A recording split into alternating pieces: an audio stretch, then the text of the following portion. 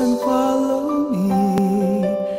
Be bread for all my people and let the world to see.